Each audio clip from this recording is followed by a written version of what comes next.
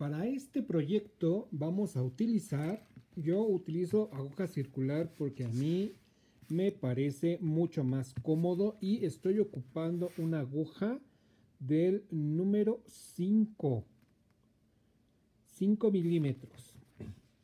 Y voy a ocupar esta lana acrílica que es muy, muy suavecita.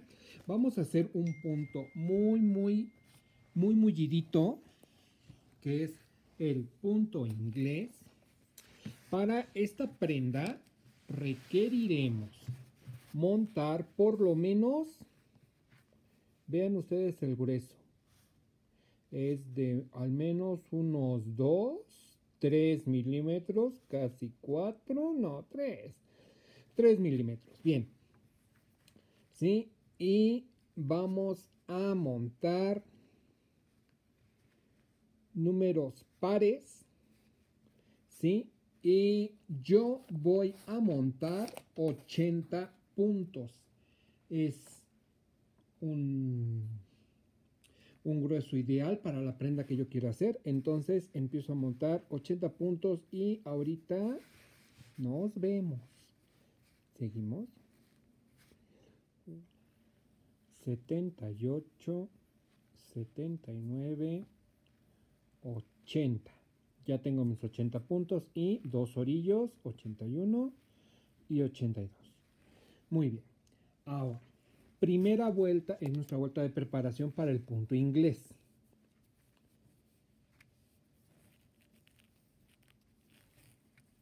Nos vamos a ir derecho, revés. Primer punto, yo no lo tejo.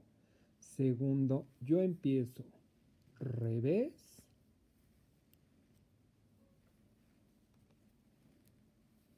derecho. Toda la vuelta. Revés.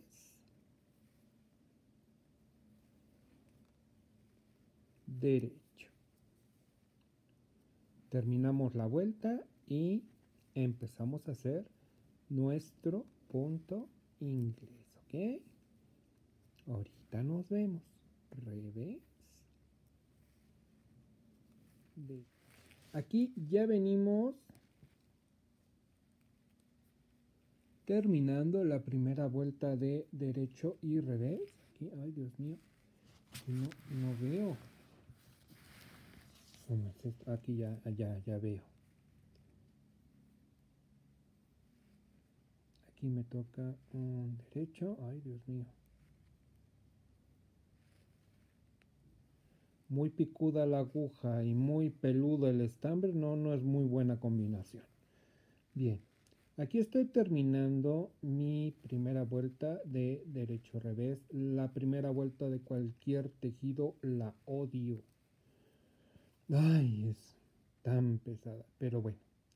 Terminamos, como empezamos con revés, ¿sí? Y es par nuestro, nuestro múltiplo, pues terminamos en derecho. El último punto es un punto orillo. Todos los puntos orillos se tejen de derecho. Cuando es el punto orillo final de derecho. ¿Sí? Y el punto orillo inicial yo nunca lo tejo. A quien sí le gusta, a mí no me gusta. Sale. Bien. Fíjense bien. Empezamos segunda vuelta. Esta fue derecho revés, nuestra primera vuelta. Es preparación. Ahora vamos a empezar con el punto inglés. Punto orillo, no lo tengo. El primero es un revés, va de revés. El derecho y todos los derechos no lo agarramos aquí, lo agarramos en el de abajo. ¿Sí? Como es la primera vuelta, va a costar un poquito de trabajo pero se tiene que dejar este mondrigo. Aquí lo agarramos que se cierra mucho el punto. Si no se deja agarran el de abajo lo suben a la, a la, a la aguja y como que no te vas a dejar pues ahí hacemos el punto con paciencia, despacio, es un revés. ¿sí? El derecho lo agarramos abajo. Si abajo no se deja, lo suben a la aguja y desde ahí hacemos nuestro punto derecho jaladito ok ahí va quedando el que sigue es un revés ¿sí? este tiene que ser del de, desde abajo. Entonces como se aprieta el puntito por mi manera de montar los puntos si ustedes pueden tejerlo tejanlo ahí. Pero yo lo tengo que montar en la aguja. Sale el revés es de revés. Y el derecho ¿sí? aquí esperemos que ya se deje. No se deja. Ah, pues lo subimos a la aguja y desde ahí ya se dejó derecho. El revés es revés ¿sí? y el derecho en lugar de hacerlo en, la, en el punto que está en la aguja nos vamos al de abajo. Aquí ya se empiezan a dejar. Muy bien perfecto. ¿sí? y así nos vamos. Toda la vuelta. Revés. Derecho. Ahí está. Este también se dejó. Muy bien jaladita bien. Luego sigue revés. Luego sigue el derecho. Muy bien. El derecho jaladita muy bien. Estamos más estable. Ahí está más estable. Ven acá. El que sigue es un revés. Y luego un derecho ya saben si no se dejan lo suben a la aguja y desde ahí hacemos el derecho. Este iba aquí. Luego aquí tengo que hacer mi derecho. Ya se dejó. Ay Dios mío. Ok. Luego punto revés. Y así toda la vuelta muy bien los que se dejan los hacen los que no porque se aprieta así, la primera vuelta sí tiende a apretarse, pero hay poco a poco, con paciencia. Vamos toda la vuelta. Y aquí vengo terminando la primera vuelta. Caótica primera vuelta para mí porque... Ay, Dios santo. El último derecho. Bien. El derecho y el putorillo siempre de derecho. Siempre. Ok.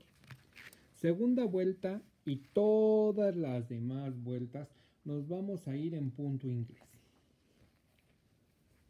¿Sale? Entonces, empezamos.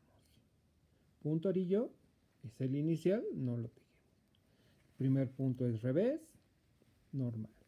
El derecho ya nos vamos a ir bien rapidito porque ya hace la segunda vuelta. Lo tomamos desde abajo. Luego es de revés, derecho. Lo tomamos de abajo.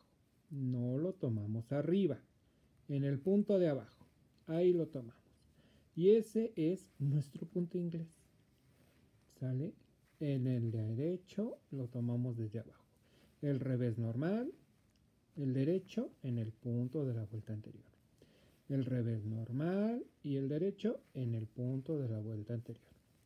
El revés, el que sigue al revés, ese lo tejemos normal y en el punto, y en el derecho en el punto de la, vez, de la vuelta anterior.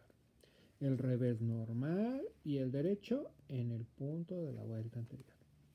Y así nos vamos a ir durante 10 vueltas Ahorita cuando lleguemos ahí les explico cómo es que vamos a contar las vueltas. Déjenme tejerle un poquito y este, ahorita nos vemos. Bueno, miren ustedes, aquí ya le hemos avanzado 8 vueltas, 8 dobles vueltas, porque el punto inglés es como hacer dos vueltas en una, o una, para hacer una vuelta completa se hacen dos, ¿sí? Entonces, miren, aquí fue donde montamos los puntos, aquí empezó el hilito, nos fuimos para acá, todo esto, ti, ti, ti, ti, ti. Y regresamos con la vuelta de preparación de derecho revés. Entonces, cuando empezamos los puntos ingleses fue cuando teníamos la hebrita de este lado. Les explico esto porque cuando yo le diga la cantidad de vueltas, siempre las vamos a contar teniendo de este lado la punta que no tiene hebra, está del otro, ¿sale? Entonces, aquí llevamos 1, 2, 3, 4, 5, 6, 7, 8. Cuando estamos tejiendo y vemos que llevamos ya las 8 vueltas, vamos a empezar a torcer. Para esto nos vamos a ayudar de nuestro aditamento para torcer las trenzas. Entonces, nuestras trenzas van a ser de 8 puntos.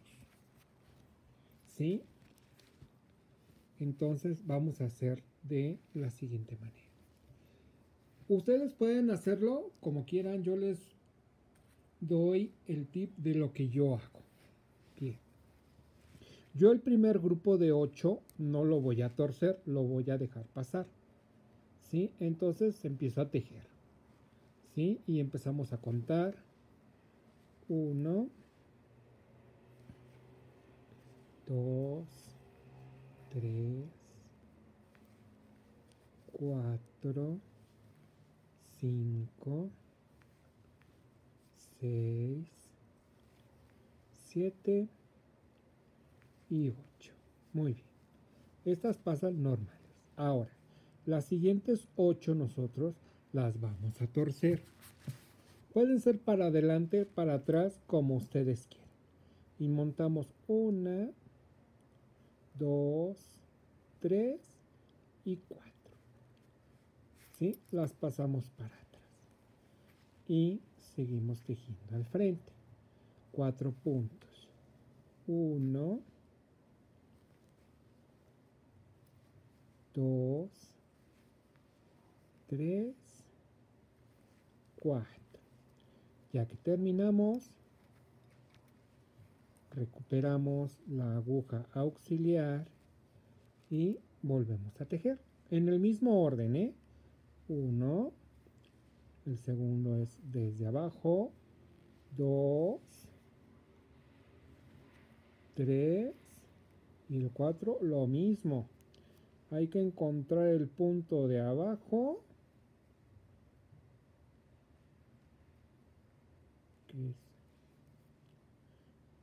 Que está acá, bien. Hay que jalarlo. Hay que jalarlo porque este toca desde abajo. Eso es. Súbanlo y de derecho. ¿Sale? Muy bien. Ok. Seguimos con... Y aquí ya queda nuestra primera torcida de trenza. Que no se nota, se va a notar hasta mucho después. Bien, entonces seguimos con 1, 2, 3, 4, 5, 6, 7 y 8. Ok. Entonces, segundo modo de cómo hacer la trenza. Si les facilita hacerla como la hice, pueden seguir. Ahora les voy a enseñar cómo hacerlo para quienes no tengan mucha facilidad de torcer. Fíjense bien, tomamos uno, vamos a ir ya preparando dos, ¿sí? Tomamos desde abajo, luego tres normal y el cuatro desde abajo. ¿Sale? Con este modo se les va a facilitar más. Porque ya no tienen que andar buscando las hebras. ¿Sí? Y entonces seguimos.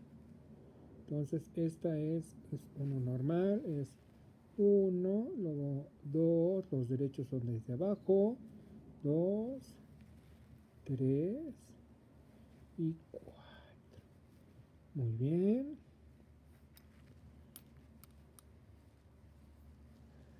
Y pues el otro pues ya es normal. Es 1. Aquí ya lo tomamos puesto. 2. 3 y la última pues de derecho. 4. Aquí ya más, más sencillo, ¿verdad? Sí, continuamos los siguientes 8 normales, esos no los vamos a torcer hasta después. ¿Sale? Entonces seguimos. 1, 2, 3,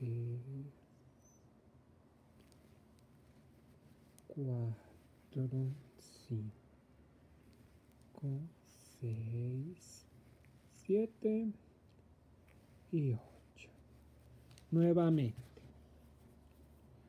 Tomamos 1 desde abajo, 2, 3 y 4. Muy bien. Y ahora dejo 4. Son 1, 2, 3 y 4. Muy bien.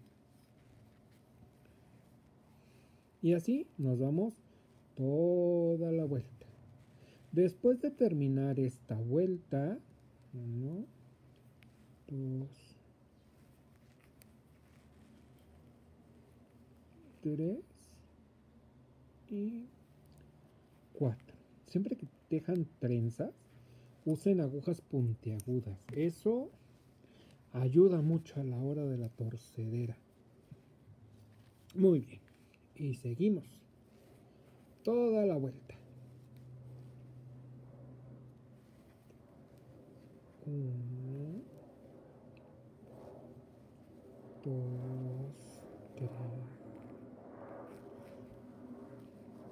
cuatro, cinco, seis, siete y ocho. Muy bien.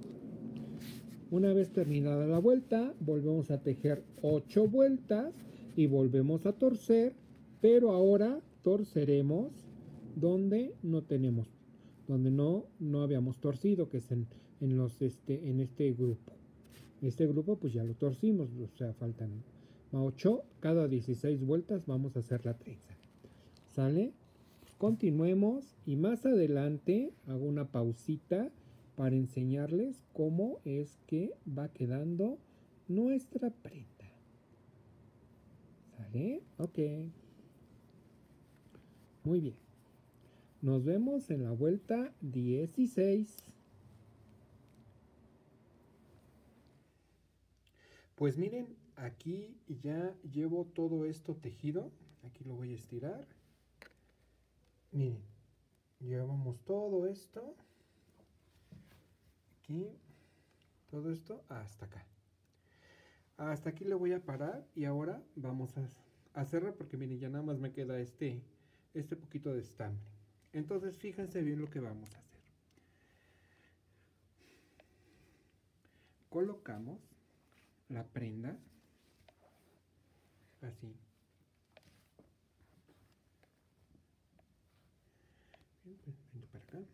Ok. Así, dobladita, dobladita. Muy bien. Ok.